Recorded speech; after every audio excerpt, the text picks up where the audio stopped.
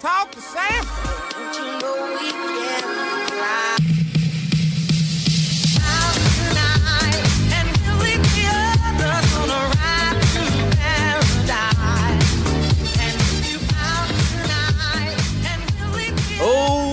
Okay, okay, okay, okay. This is the Raptors Reaction Podcast. I'm Rose Samson Folk, and you're joining me after a truly heart, not warming, a heart dissolving, heart crushing loss to the now five and three Boston Celtics, 126 to 114.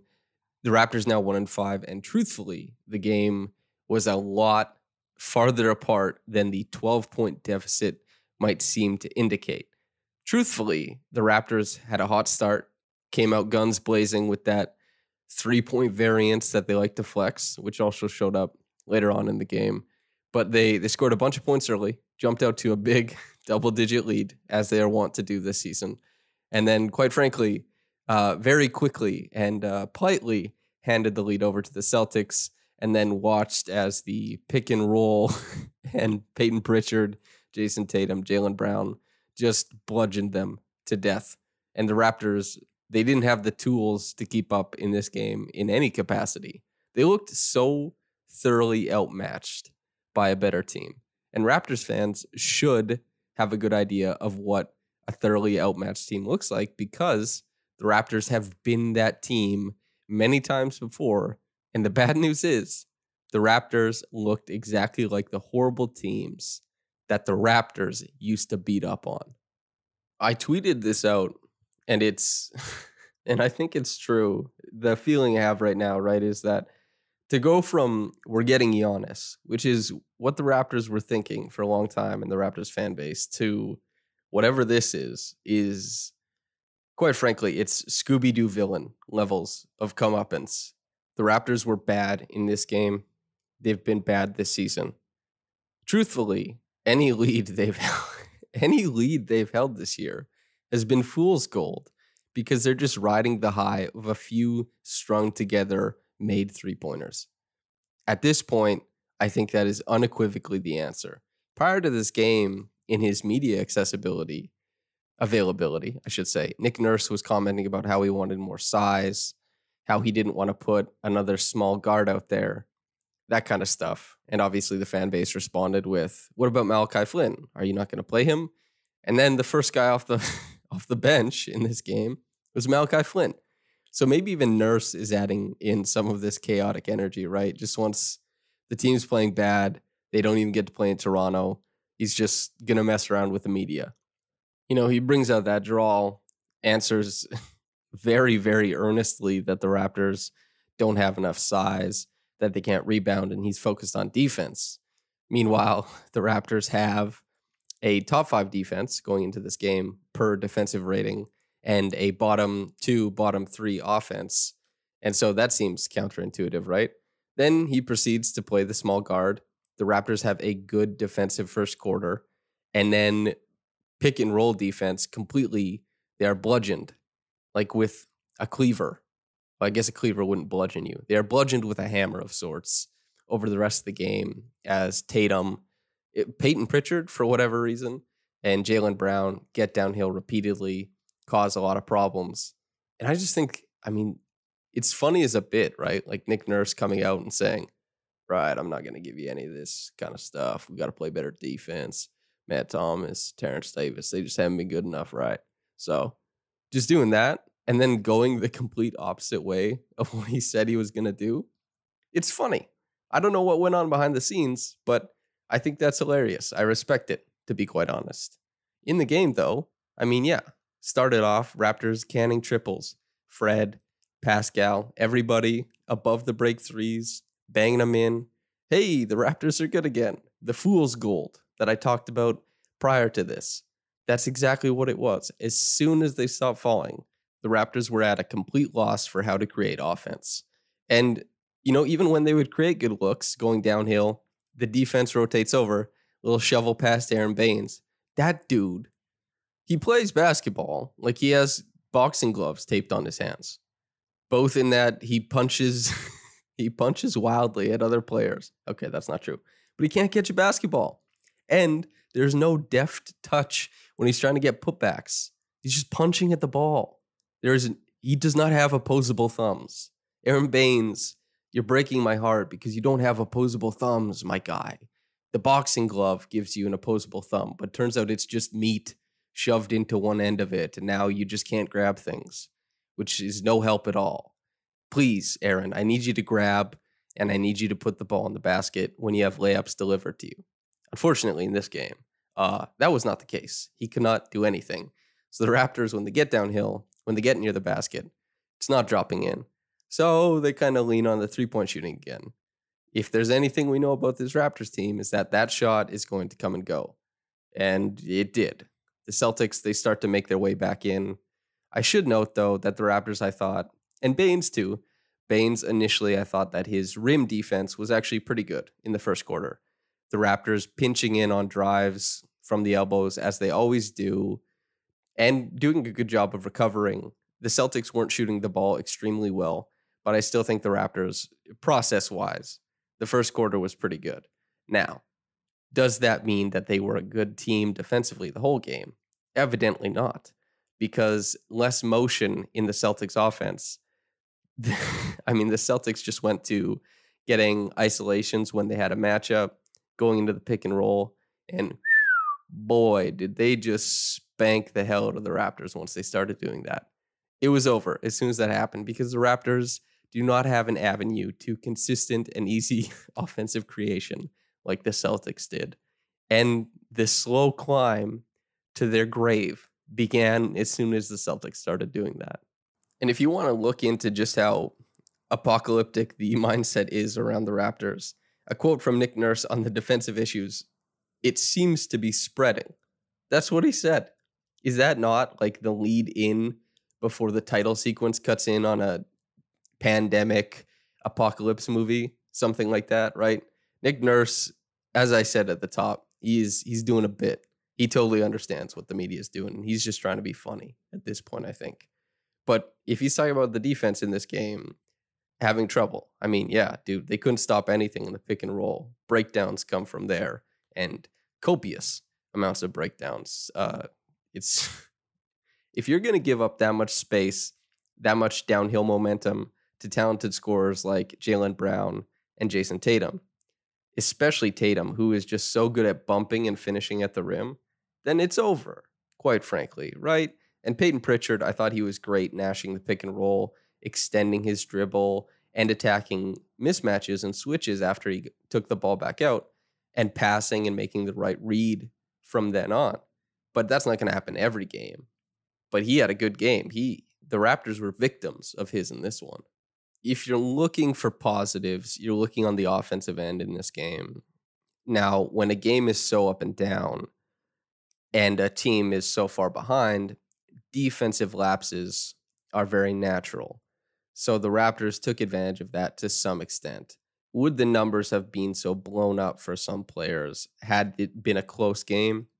I'm not so sure. But there was a modicum of success that Pascal Siakam had getting downhill and finishing at the basket in this game. And that includes drawing free throws against an all NBA defender. Well, two of them, quite frankly Jayson Tatum, Jaylen Brown. That's nice to see. The Celtics were down some players. Marcus Smart isn't there to come in for those digs on drives like the Celtics are used to having. And that does make a difference. But Daniel Theis is a good rotational defender. Tristan Thompson, you know, he had a couple bad years in Cleveland, but he's not a slouch defensively either. If you think that Siakam was playing against a real set defense, not a team that was kind of just going through the motions as they cruise to a victory, then this should be meaningful, at least somewhat. Fred VanVleet continues an excellent run of play. Last game, he was one of the lone bright spots on the Raptors. He had 35 points in this one, and he was phenomenal off ball. He found a lot of space for himself. He killed it from downtown. He shot 67%, six of nine. Really nice to see. That is all you could ask for from Fred, and more, actually. If he's going to shoot, what is it, like 65% from the floor and give you 35, don't ask for anything else because that's silly. He was fantastic, honestly. Malachi Flynn, as I suspected, was not world changing as a player. Although his defense was fine for the most part, he had a bailout three point foul on Jayson Tatum, a couple gaffes, but not a super big deal. I think he operated perfectly fine as a third guard. He did not put up like any meaningful stats in this game. He they I remember one play they ran a stagger screen for him. He let it flow into a pick and roll for Pascal Siakam. Siakam found Boucher on the roll. That was nice. That's kind of what I expect Malachi Flynn to be out there for is to work through sets, work through actions. If there's an advantage, see to it. If you have to flow to something else and then space out the floor on the opposite side, do so. I don't think he's a radically he, I don't think he's going to radically change the way that the Raptors offense or defense looks, but in the margins there's some things he can do better than what the Raptors were providing outside of him, I think. And that's he didn't have a great game, especially when you look at Payton Pritchard on the other side who is a small guard who is picked in the, you know, in the same draft as Malachi Flynn. There are no referendums, you know, 5 6 games into the season on players and there shouldn't be. But if you're going to go positive, I think Payton Pritchard at what was it, 23 points, two rebounds, eight assists, three turnovers. Honestly, that was a great game for him, and I think it it speaks to his potential. But I don't quite understand the hesitation that Nurse has with Flynn. He looked perfectly fine, and he was a he played three years in college, and he did redshirt one year. He's not young. You're you're probably not bringing him along the same way you would a freshman or anything like that. If you're drafting a guy after four years in university and college, you probably are going to play him. That's usually how it shakes out. The, the draft is a great opportunity to get an influx of talent. Malachi Flynn obviously is talented, even though today wasn't a huge endorsement of his game.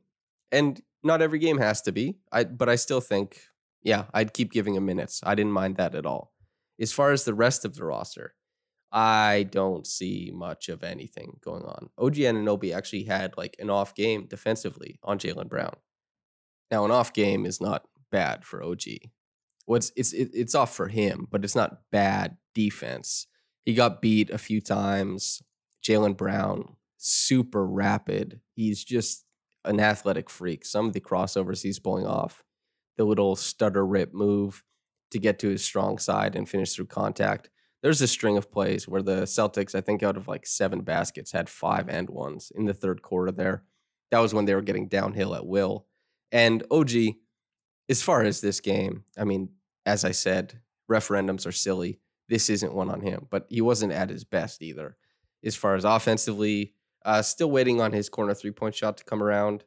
He is unequivocally, definitively a good shooter. I'm not super worried about OG's shoot jumper. I'm just waiting for it to come around because it's supposed to and and it will. Kyle was good off the start. He kept plugging away throughout the whole game. Kyle is always good. Boucher brought a little bit of an offensive punch. Terrence Davis as well, although Terrence Davis suffering from the same stuff that Nick Nurse talked about prior to the game. Defensive mistakes constantly. Terrence Davis makes a lot of mistakes when he's defending the ball and when he's off ball. So he brought a little bit of offensive punch. Almost all of it came during the equivalent of garbage time, just both teams going through the motions, trying to find the end of the game. I don't think there was anything predictive or meaningful in his minutes for anybody, really, honestly. That's that's what a game like this does. It's just after the first quarter, the ball started rolling the opposite way, chasing the Raptors down the the tunnel, whatever Indiana Jones reference you want to make. It was coming after them. They couldn't get out of the way. I guess they did it in The Mandalorian as well.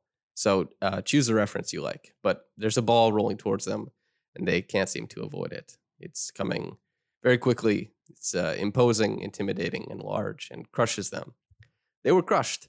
And that means that a lot of the minutes don't seem predictive for anything. They don't seem meaningful because the tenacious level of defense that the Celtics are known for, especially from their wings and guards, just not there in this game through a lot of it. There's a lot of empty minutes, so the the analysis is lacking, I think. But yes, they go that second quarter they're outscored 38 to 14. Basically nothing goes right. They cannot create consistent looks on offense. On defense, Tatum is mixing in incredible shot making. The small guard like Payton Pritchard, he's making nice little flip shots and baby hook shots. Semi Ojeleye, Robert Williams, Grant Williams, all those guys chipping in where they can because Tatum has so much gravity. He draws so much attention. And so Tatum not only is just on this incredible heater, I mean, he finished with 40, I believe. Yeah, 40 points on 11 of 19 shooting, five of eight from downtown. Really high difficulty on a lot of the shots, too. The Raptors throwing a lot of attention at him. He's making the right reads, the right plays, even if it wasn't directly an assist coming from him. It's kind of side top side action or an, a hockey assist, something like that. His gravity kind of broke the Raptors' defense. Then in the third quarter, it was just straight up pick and roll play. Alex Len started the second half because they thought, I'm sure they thought that he would be able to catch the ball better than Baynes would. The problem was that they were not playing drop defense. Uh, Alex Len was showing really high in the pick and roll. And then he, he's a slow footed big. He's a huge man. It's tough for him to move himself around the court at a pace that would say, I can beat Jayson Tatum or Jaylen Brown to the spot. He's not put in a position to to succeed whatsoever, and he did not succeed. the The Celtics punished them for eight straight minutes in the high pick and roll, and the Raptors just got bludgeoned going downhill, three pointers off of the drive and dish, and the Raptors were really, really trying to get to the rim on the other end, and that's where you wonder, like is it meaningful? Is it not? Because the Raptors are oscillating between a deficit of like 11 and 22 points. And Siakam's getting to the rim, and Fred is getting to the rim every once in a while. Kyle is getting downhill. And you say, can they do this in minutes that matter? Are we seeing them turn the corner here? I hope so. It's just unlucky that they got bludgeoned in the pick and roll on the other end. That's that's the best thing you could hope for, right? At the end of the game, the Raptors do what they did against the Pelicans, although not to the exact same degree because they were down by way more in this one. They string together a heap of jumpers. Suddenly, the game looks a lot closer than it was the whole time. Brad Stevens has to check for like the last two minutes and 45 seconds, has to check Jaylen Brown and Jayson Tatum back in. Everything calms down from there. Everything is chill. The Raptors are not making the run with the slew of end of bench guys they had in. Yuta Watanabe got a rebound, went up the court, hit a triple. Malachi Flynn missed some shots. Basically, it was inconsequential stuff. And man, once again, I forgot to mention him because he's been so forgettable, but Norm was bad in this game. Like, he turned the corner a couple times on pin downs, and that's the best thing you can say about what he did tonight. But 16 minutes, four points, whole lot of nothing from him. They just they're expecting a lot from him, especially when you consider how dependable he was last season.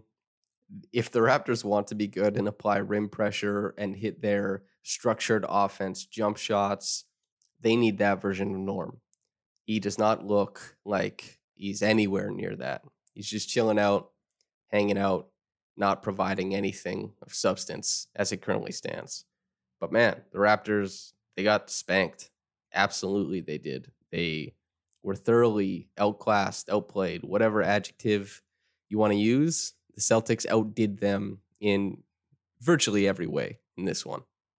It is hard to choose a Reggie Evans Award winner in a game that was so devoid of intensity or passion when Reggie Evans his the pores of his body exude intensity and passion.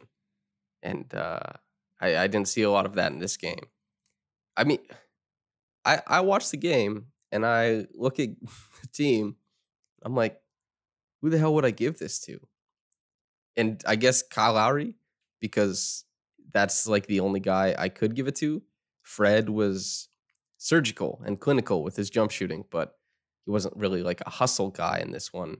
Lowry is always a hustle guy. So, man, in the most underwhelming Reggie Evans award win ever that I've probably ever given out, I think I got to give it to Kyle Lowry. Is that depressing? Is that is that bad?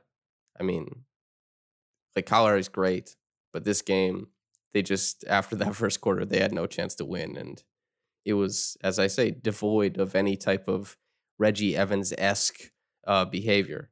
Okay, so I know a lot of people like Bob's Burgers, and I know a lot of people uh, are getting ready to dislike me. So I'm going to throw out another impression. I'll be doing Bob from Bob's Burgers as a readout, the quick reaction comment. And uh, so, quick reaction comment. The top one is from moderate underscore observer, and uh, they'll be speaking through the voice of Bob Belcher. Quote. Uh, we can't win a lot of games in the NBA when you can't rebound and your front court gets dominated in the paint every game. This roster is going to lose a lot this year. So many guards. They have TD, Thomas, and Flynn fighting for garbage minutes. Not enough front court that you have a small forward playing center and combo guard playing small forward. Time to make moves. Don't waste Lowry's year, is what I think. Send him to yeah, a contender for another contract that could be moved for picks, maybe. The front office must have seen this coming. So, what's the plan? End quote. Okay, uh, Bob Belcher, thanks for the feedback. Yes, the roster is unbalanced. You're bang on with that. The front office must have seen this coming. So, what's the plan? Hmm. I mean, to a certain degree, I'm sure they were anticipating a low floor version of this team where things did not go well. Although I probably would say they were assuming that Pascal would have been able to return to all NBA second team level.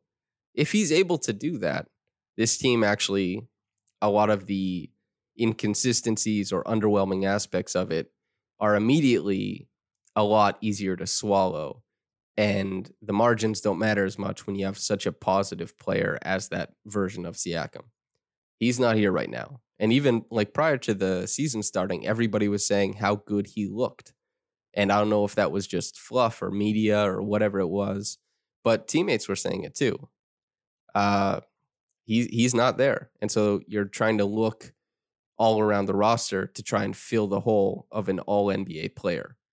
I got to tell you, a lot of uh, a lot of NBA teams have tried to do this. It's really difficult. It is not a simple or small task, and usually the answer is you just need an All NBA player. So either Pascal Siakam returns to roughly the player he was before, or this team fails.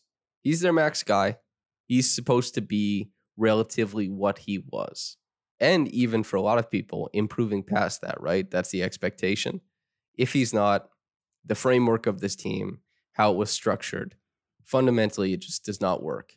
You cannot run Pascal Siakam at the four and OG Anunoby at the five and bludgeon teams with that lineup this season if Pascal is not going to be a major positive offensively. Them's the breaks, I think. As far as not wasting Lowry's time, I mean, hell yeah. Lowry is still a very, very good player. You still have a guy who drives a lot of winning. If you can put a good team around him and you just give him a puncher's chance at wherever you want to be in the playoffs, you do so. I'm sure Masai and co. Bobby Webster are looking at all available options. Nick Nurse is probably hammering out a bunch of ideas when they practice, when they go through film, all that kind of stuff. But it it's been grim. I'll say that much. But anyway, this has been Samson Folk. I hope you enjoyed it. I hope you had fun or found it informative. If you want to leave a review, hopefully a positive one, yeah, five stars and a comment saying, "Wow, Sam's Bob's burger, Sam's Bob Belcher impression is dynamite." Something like that. Uh, feel free because that's that's great for me. I mean, that always helps. But whether you're getting into this in the morning or at night, I'm out of here. You're out of here. I hope you have a blessed day and goodbye.